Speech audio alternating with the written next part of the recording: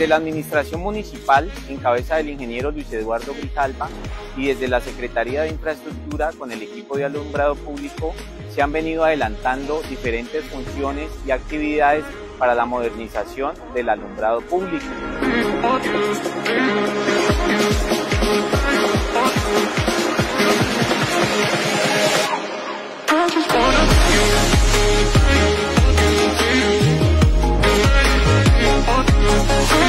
A la fecha hemos mejorado más de 200 puntos en diferentes barrios, sectores y veredas de nuestro municipio.